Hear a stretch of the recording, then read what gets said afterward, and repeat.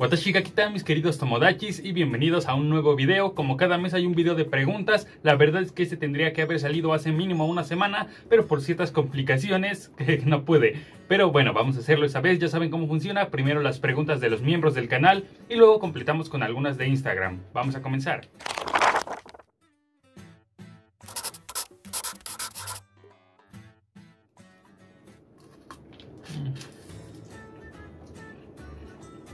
La primera es de Dani y dice, ¿preferirías un live action con una superproducción de My Hero Academia o una película de animación 3D? ¿Cuándo te vas a rapar? La animación, la verdad es que los live action no me gustan mucho, o sea, no, me llama la atención, prefiero que se quede con los diseños bonitos que se puede obtener con animación, así que esa, y de hecho hace no mucho, algunas semanas me corté el pelo, no se nota mucho porque igual lo tengo largo, pero las patillas y la parte de atrás sí me lo rapé, así que no sé cuándo lo voy a volver a hacer, en unos meses. Hmm. Cosi dice por como cuarto mes consecutivo un directo. o sea, no me sorprende que el Cosi siga pensando que un directo es una pregunta. Lo que me sorprende es que cada que lo pone sigue teniendo likes. Kachan, ¿qué consejos le darías a alguien que está comenzando a ser independiente? Ya sé que no eres independiente, pero bueno. No sé, Kachan, no he pasado por eso. Está, está cabrón, pero yo te diría que eh, seas consciente de la forma en la que estás utilizando el tiempo. No estoy diciendo que no descanses o que no juegues o no te relajes, pero eh, si sabes lo que estás haciendo con el tiempo, siento que rinde mucho más, o por lo menos así he hecho últimamente y me sirve. Si me voy a dormir, tengo que ser consciente de que ese tiempo lo voy a usar para dormir, y si voy a jugar, tengo que saber que ese tiempo lo voy a usar para jugar, y así siento que no desperdicio tanto viendo memes o algo así. Ya se me acabó mi congelada.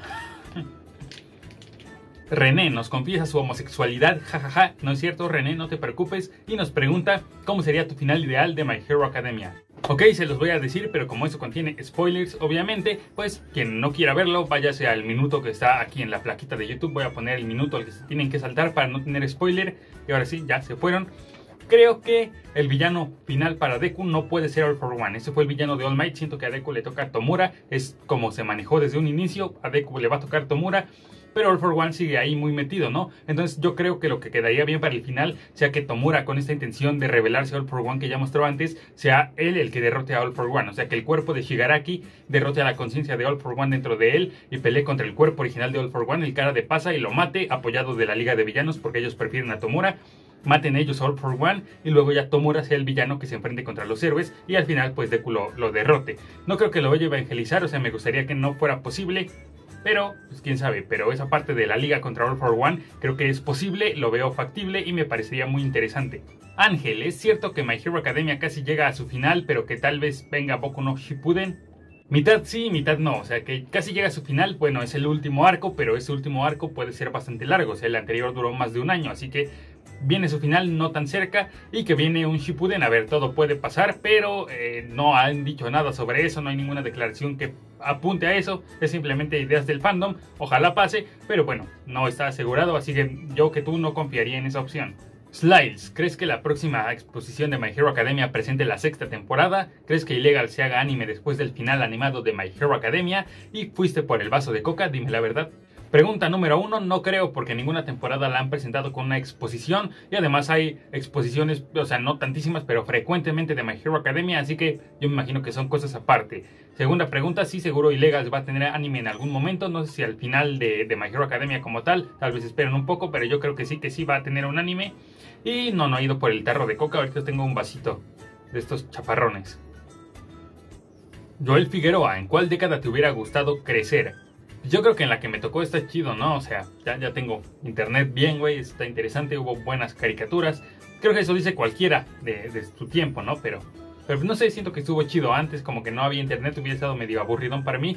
Y el futuro, pues imagino que va a estar más chido, pero pues hasta no ver, no saber, así que esta. Joaquín, ¿cómo estás? Deku está muy roto en el manga, ¿qué te gustaría que pasara en la serie en el futuro? Estoy bien, gracias por preguntarme. Espero que tú también estés bien, amigo mío. Todos los que ven este video, ojalá. Deku está muy roto. Más o menos es bastante fuerte, sí, pero siento que es algo que sabíamos desde el principio que iba a pasar. O sea, me parece poderoso, pero acorde a lo que se había planteado. Así que creo que está bastante bien. No creo que, que se salga de, de, lo que teníamos previsto. Y que me gustaría que pasara a futuro, pues lo que mencioné hace poquito de los villanos. Eh, pues spoiler, eso. Megalovania, anime o paja. A ver, te voy a ser sincero, yo prefiero anime, la verdad, pero eh, no tienes por qué separarlos. Si te gustan las dos cosas, puede, pueden coexistir en tus gustos. No llores. Hernández Hernández, ¿has leído Komi-san? Si no, te lo recomiendo. En tu universidad ya van a volver a clases presenciales este mes. No, no lo he leído, pero se viene el anime, así que prefiero esperarme para verlo animado. Y de clases, pues de hecho no entro a clases este mes, tengo hasta agosto de vacaciones, qué felicidad, pero va a ser en línea el siguiente trimestre también. Anita Ugu, hablando del manga, ¿cómo ves a los tres grandes de la shonen? Me refiero a Jujutsu Kaisen, Tokyo Revengers y Shinsaw Man. Eh, a ver, si te refieres a tres grandes de shonen en general, no creo que sean esos. Jujutsu Kaisen se hizo muy popular por su anime y ha tenido buenas ventas, pero creo que no es tan tan mediático. Tokyo Revengers, aunque está en emisión, ni siquiera es muy sonado todavía. Y Chainsaw Man, ese sí, pero a ver, eh, como que los tres grandes yo no diría que son esos. Y aparte, si dices de la Shonen, refiriéndote a la revista, la Shonen Jump, eh, ni, o sea, Tokyo Revengers no es de esa revista y Chainsaw Man sí, pero creo que ya lo van a cambiar a otra revista, así que no, no, puede ser. Y bueno, de Tokyo Revengers me gusta el anime, es lo único que sigo. De Jujutsu igual me gustó un poquito menos que Tokyo Revengers, la verdad, pero me gustó el anime, no sigo el manga. Y Chainsaw Man no lo he empezado, pero lo voy a leer pronto. José Vidal, ¿llevas el Atlas a la escuela en la mano o en la mochila? Saludos para Natalia. Yo me acuerdo que, ese libro grandote, de hecho, bueno, prácticamente todos los libros se quedaban en la escuela, o sea, no me los traía a la casa, se quedaban en, mi salón de clases en la primaria. Así eran, no sé si les pasó a ustedes o solo yo, pero, pero ahí se quedaban todos. Y bueno, esas fueron las preguntas de los miembros. Muchas gracias por apoyar mes con mes para que yo pueda seguir consumiendo coca con el dinero que me dan. No sé que ustedes están deteriorando mi salud y es su responsabilidad. Se los agradezco y ahora sí, vamos con las de Instagram. Misael, My Hero Academia o Vigilantes y por qué. My Hero Academia y por mucho me gusta. O sea, Vigilantes tiene cosas muy buenas como el tema de Knuckle 12 y, la familia y Queen Bee y todo eso. O sea, me gusta mucho. Pero siento que gran parte de, lo bueno de ese manga es por el hype que ya tienes de My Hero Academia. O sea, les digo, temas como ese o lo del Capitán Celebrity están bien. Pero, o sea, gran parte es ver a Isawa, el arco de Hirakumo, eh, todo ese tema. Ahorita que vimos apenas a a Miruko y todo eso, si no existiera el manga original no tendría tanto valor en el spin-off, así que obviamente el original. Satkiel, ¿cuál es tu youtuber favorito o el que más ves?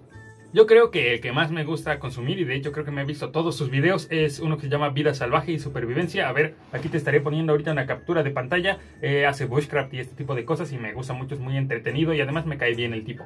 Anita U, no sé si es la misma de antes, pero bueno, Anita U. No es pregunta, pero enseña a los gatitos. Es que están comiendo, pero a ver, voy rápido. Mira, aquí está, aquí lo tengo. Estaba comiendo, así que ya me lo voy a llevar. Inst. Está raro el nombre. Inst. ¿Qué juegos piensas subir en tu nuevo canal aparte de Minecraft? Sí, banda, porque ya hay canal secundario. Apenas lleva dos capítulos la serie porque no he grabado el otro porque estuve, estuve ocupado. Pero bueno, váyanlo a ver. Está en la descripción el link. Y planeo subir, no sé la verdad, lo que ustedes me vayan diciendo. Vamos a ir improvisando sobre la marcha porque tampoco tengo muchas cosas instaladas en la computadora. Pero pues ahí puedo instalar lo que me pidan y ahí vamos jugando poco a poco. Sebastián, ¿qué opinas de la 1.17? Hablando de Minecraft, justamente me parece la actualización más decepcionante, no la más chafa, porque a ver, la más chapita fue la de las abejas, pero es que no esperabas mucho de ella, y en esta sí esperábamos más. Entiendo la decisión de dividirla en dos partes, pero de todas formas, pues esta no es tan satisfactoria. Joaquín, sugerencia, ¿qué te parece si subes tus podcasts a Spotify? Me parece buena idea, pero no lo voy a hacer. Y no lo voy a hacer no porque no quiera, sino porque no sé cómo. Ya me lo han dicho algunas personas también que lo haga, pero no sé cómo se hace. O sea, no, no, no puedo, no sé. No lo puedo hacer, amigo, perdón. Beli González, ¿tienes waifu o juzgando en Doctor Stone? Mira, me gusta mucho Minami, aunque casi ni sale, pero no sé, siento que su actitud y su diseño son muy llamativos. Me gusta, Kohaku de por sí cae bien, eh, Luna me gustó cuando salió, pero después ya no tanto. O sea, no tenía una fija, pero luego eh, esta Suika hizo lo que hizo en el manga, que no les voy a decir, y creo que ya es la, mejor waifu de, la serie, me gustó mucho. Sí, es la sandía, los que ven el anime me van a estar viendo como un tipo extraño, pero espérense, ya luego les va a gustar Suika también. Junior Galloso dice, ¿el ser humano es bueno o malo por naturaleza? ¿Qué piensas?